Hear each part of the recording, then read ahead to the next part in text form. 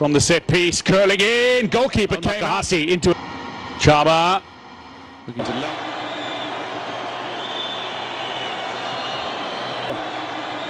Across the 18 yard area, Simba coming away with possession. It was as well. Delivery in, it's a dangerous ball, but delivery in. Baleke gets his head up.